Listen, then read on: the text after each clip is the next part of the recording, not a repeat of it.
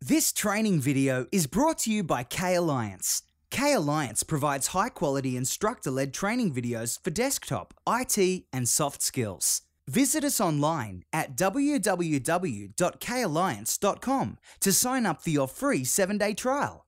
Be sure to like us on Facebook, follow us on Twitter, and subscribe to our YouTube channel. Thank you for watching, and we hope you learned something new. Real videos, real learning, real success.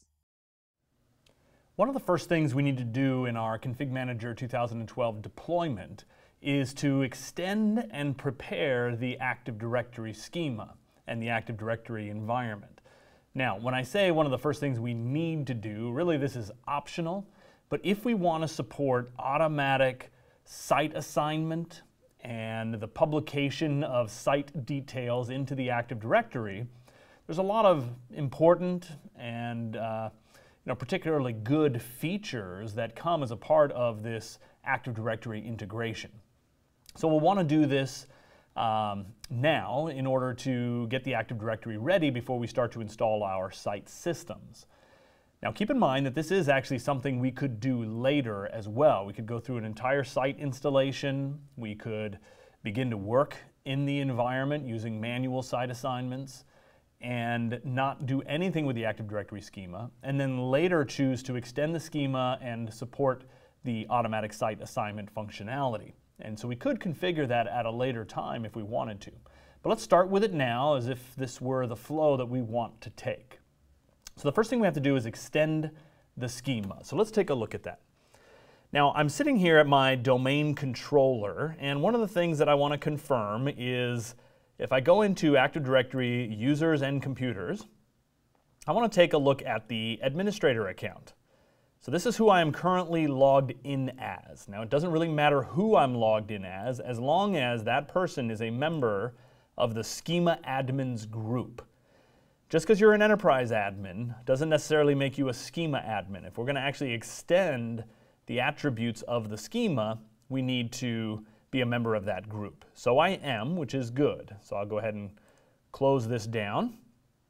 Now, I want to go ahead and bring up the installation media, which you can see uh, I have loaded into a DVD drive on my domain controller.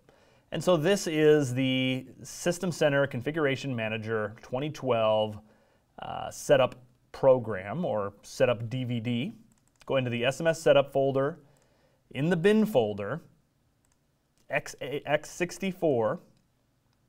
And in here are a number of different components, including the setup programs, the prerequisite checker is in here, and I'll just type the E. Uh, you'll find right here EXTADSCH, or Extend Active Directory Schema. So I'll just go ahead and launch that. Now that's going to launch inside of a command line while it does its operation and then it goes away. Pretty simple. So it flashed away pretty quickly, and that's because it just doesn't have that much to say. Now, if I'm a little bit concerned uh, about whether that actually worked for me or not, I can go ahead and take a look on my local drive, and you'll find in there an extendaddschema.log file. Let's go ahead and open that up. And we can see that modifying Active Directory schema with SMS extensions. And we can define an attribute called site code, a new attribute called assignment site code, SMS site boundaries, SMS roaming boundaries. And by the way, do notice the SMS naming convention here on these attributes. And same with class objects. We're defining a new class of object of management point, server locator point, class of object for site, and also a class of object for a roaming boundary range. We'll be getting into all of these things as we go through the course, but we can see here successfully extended the Active Directory schema. Now, for those of you that might be familiar with extending the Active Directory schema for something like Microsoft Exchange, clearly this was a much faster and easier process. Exchange does a massive amount of schema extensions uh, in the Active Directory in order to prepare for um, email integration into your domain. This, it's a much smaller subset, but we have gone ahead and extended and created now the necessary attributes and objects for, uh, that, for our environment. So let's go ahead and close down our log. So now that we've done that, we need to do some final steps that are kind of manual here. So I'm going to go ahead and go back to my administrative tools and open up ADSI Edit. ADSI Edit is a great tool for giving us a very raw connection. I'll go ahead and connect to um, our domain. So I'm connecting into my domain controller, into the default naming context and I can expand the domain name here. And under the system container, we see a lot of system-specific elements. And a number of these have to do with various different applications in the environment. And you don't have to worry about these or mess much with them. For instance, DNS type settings are uh, found in here.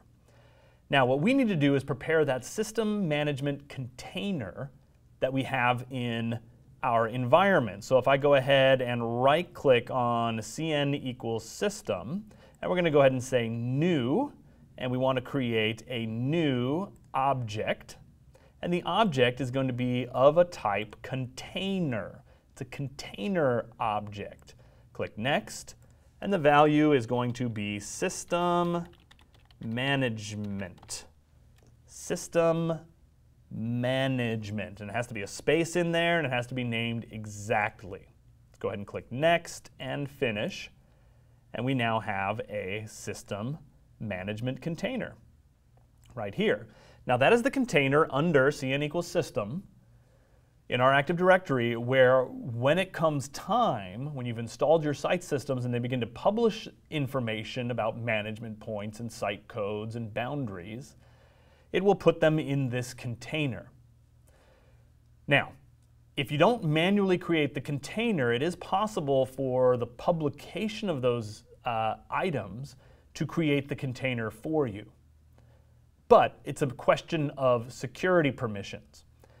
Now, the computer that we are going to use, if I go ahead and bring up here my Active Directory users and computers, I have a domain joined machine called SCCM1. This is going to be our primary site server. It's going to be one of our site systems, but you can see eventually I may have a site system called SCCM2. There are a number of different systems that may ultimately be primaries or secondaries. Um, just depends on what route we take with our deployment. Uh, for now, I'm mainly concerned about SCCM1. Currently, it's just a Windows Server system. It does not have any config manager binaries installed on it yet because we haven't gotten to that part. However, when I do, that system will be the one that publishes its information into the Active Directory, into that system management container that we just created. So this computer right here will run with its own credentials. So Config Manager doesn't run as a designated service account, it runs as itself, uh, as a network service or as a local system.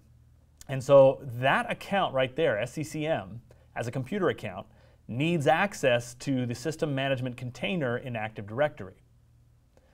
Now, we can either go to the system container here and let's go ahead and uh, let's go ahead and refresh.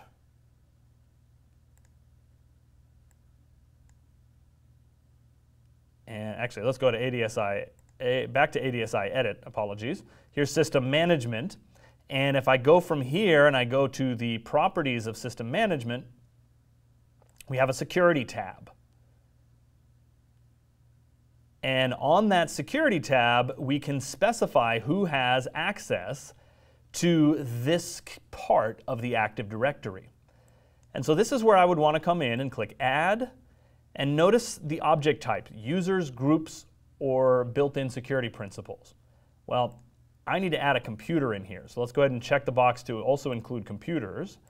And I want a computer called SCCM1. Let's go ahead and check the name on that, and it found it. Click OK. SCCM1 will have full control over this container. So I'll go ahead and click OK on that. So I've added that security. Now that may be as much as I want to do. However, I would have to do that for every computer that will be a site system server that may be publishing information into uh, the Active Directory. So I've given it permission to write into this container. So instead of doing that, let's switch back over to uh, Active Directory users and computers. And let's go ahead and go into the, the users container. I'll go ahead and create a new group. And let's call it config manager servers.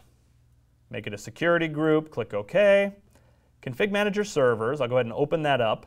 And its membership, if I click add, and once again, let's click object types and make sure we're adding members to this group that are of a computer type. If I just say SCCM and I check the names, I want both of these, one and two. Both of my computers that are going to eventually be site systems are going to be added into this group. So this group membership can grow over time. It's a lot easier to manage the membership of a group like this Every time I add a site system server, I might go ahead and throw it into this group. It's a lot easier to do that than it is to continually be editing and changing permissions. So let's go back to ADSI edit, go back to our system management container, properties, security. Let's go ahead and click add. And we're going to do config manager servers and give them full control. Now doing that means that I didn't really need to add in that individual account. So I could in reality remove that, which I'll go ahead and do. And we know that our config manager servers have been given full control to the container. And every time I plan to expand, if I'm going to uh, install another site system server, I might want to throw them into that group to make sure that those site system servers can publish their information into AD. Because remember, they don't run as a, a, designated service account. They run with the privilege uh, of themselves under their own uh, credentials. Computers behave in a domain just like users. They have a name and a password. We're basically saying that that computer can log in and connect and edit this part of the Active Directory. Now, one last point here is for ease, some people will come right here to the system container. Now, just to get our bearings, system management is the one that we manually created and edited the permissions on. But if you didn't want to manually create that container object, we could have simply come to the system container in ADSI edit, gone to properties, gone to security, and added our permissions for our config manager servers here.